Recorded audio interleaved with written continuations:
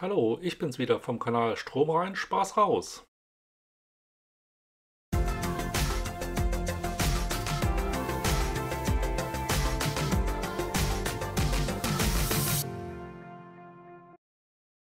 Vielleicht wollt ihr erstmal euch das Video von der Hinfahrt anschauen, weil das auch ganz interessant, weil es erstmal bergauf geht.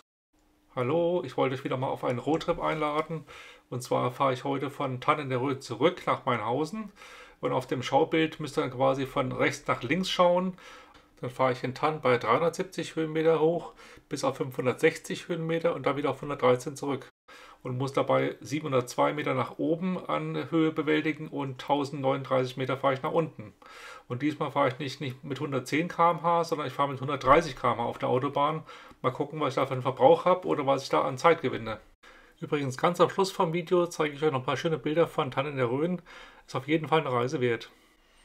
Hier zeige ich euch nochmal, wann ich losgefahren bin, um 15.11 Uhr. Und ich hatte im Akku noch 52% drin. Mal gucken, ob das reicht. Wie gesagt, ich will ja 130 fahren und nicht 110.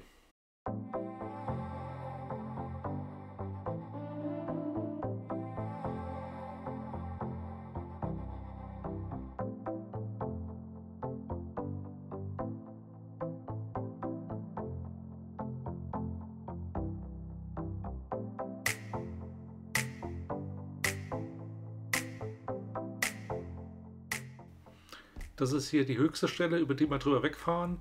Das sind 560 Höhenmeter. Und ab jetzt geht es Richtung Mainhausen nur noch bergab bis auf 113 Höhenmeter.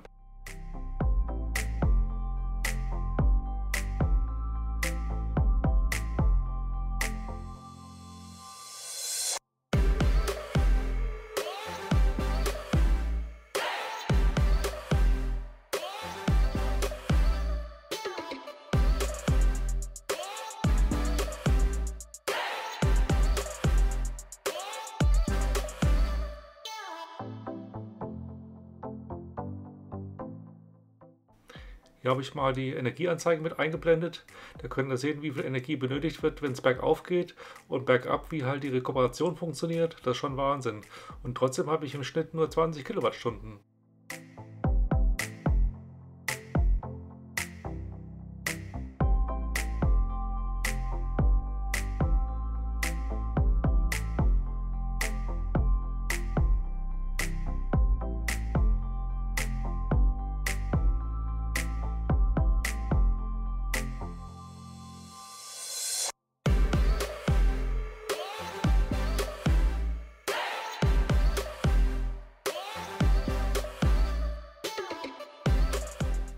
Obwohl es die letzte Zeit ziemlich bergauf und bergab gegangen ist, habe ich auf den letzten 10 Kilometer doch nur einen Schnitt von 8,5 Kilowattstunden, was schon sehr, sehr wenig ist.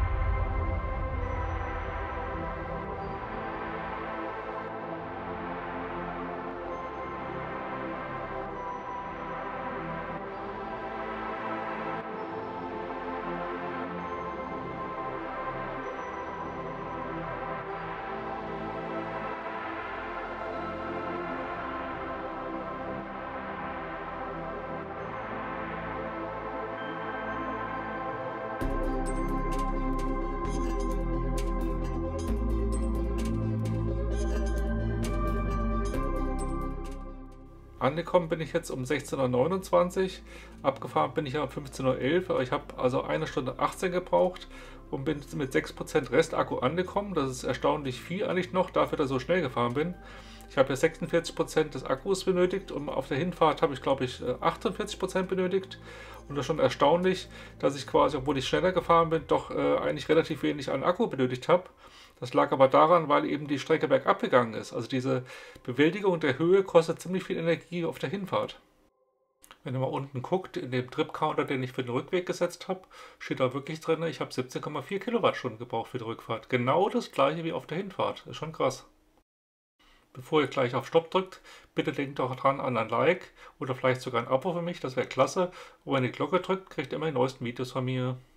Deswegen ist ja mein Tipp immer, nehmt diese App ABRP oder Better Route Planner. Ihr könnt auch auf die Webseite gehen, betterrouteplanner.com und tragt dann für euer Fahrzeug den Verbrauch ein. Also erstmal oben das Fahrzeug auswählen logischerweise.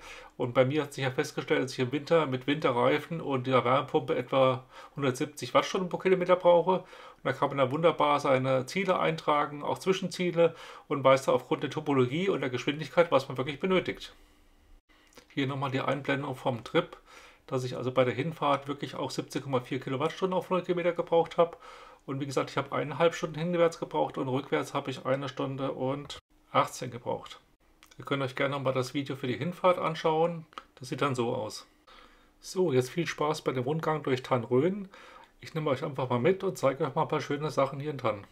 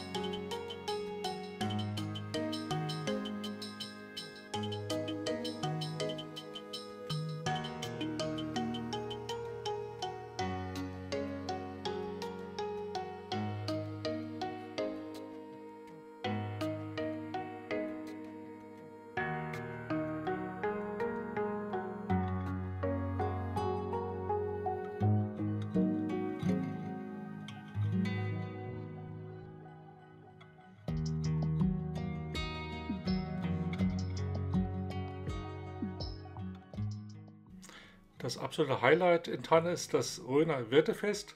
Das findet an jedem zweiten Septemberwochenende statt. Und da gibt es in jedem Gasthaus spezielle Gerichte zu kleinen Preisen und es sind Musikvereine da, fliegende Händler und es gibt Kreuzbergbier äh, aus dem Schlossbrunnen über das gezapft. Und es sind bis zu 30.000 Besucher an den beiden Tagen da. Das ist wirklich ein Highlight. Also ich empfehle wirklich da mal hinzufahren.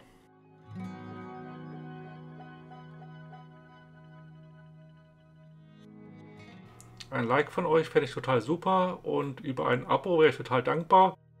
Wenn ihr die Glocke drückt, kriegt ihr immer die neuesten Videos von mir. Und danke fürs Zuschauen. Ihr könnt euch gerne mal meine anderen Videos auf dem Kanal anschauen. Da gibt es hier eine Ladekurve bei minus 15 Grad oder eine Ladekurve bei plus 28 Grad. Auch sehr interessant. Oder mein Roadtrip an die Costa Brava. Hinwärts habe ich dann eine Übernachtung mit dazu gebucht. Und rückwärts habe ich mir gedacht, das kannst du mal versuchen, komplett durchzufahren, also in einem Tag. Dann habe ich hier in Hypermeile gemacht mit dem Tesla Model 3 Standard Plus, das normalerweise nur WLTP 448 Kilometer hat, aber ich habe 500 Kilometer geschafft. Oder hier ein Trip nach Husum